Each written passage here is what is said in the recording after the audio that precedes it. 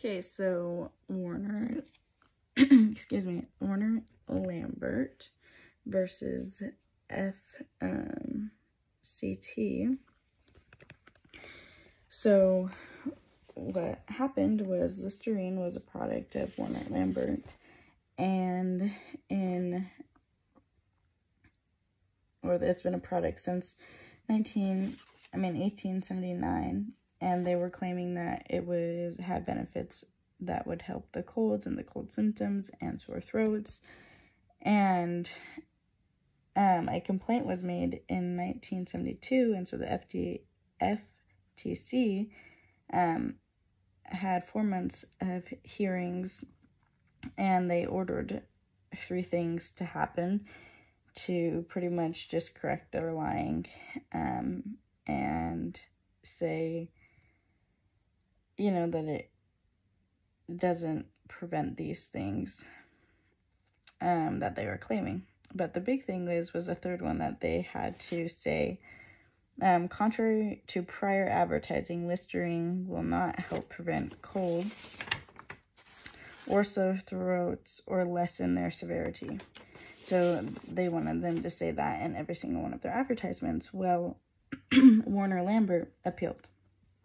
And during the research that they found um, that the ingredient, first of all, the ingredients would not even, um, they're not proven to affect any of those symptoms.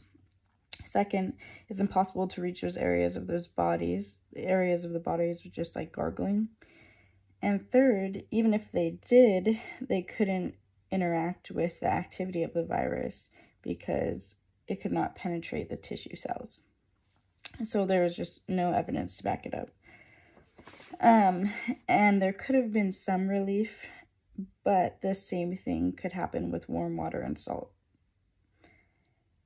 Um, so the big thing is that the outcome that they had to say that quote that I just said that um sort of with like contrary yeah they had to say contrary to prior advertising Listerine will not help prevent colds nor sore or sore throats or lessen their severity so they had to say that for they said a defined period so I don't know how long that period actually was.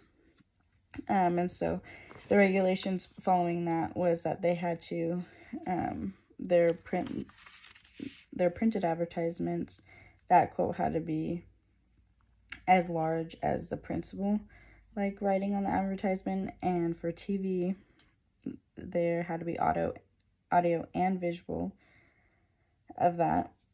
And for audio, there could not be any other music or sound playing. Just that.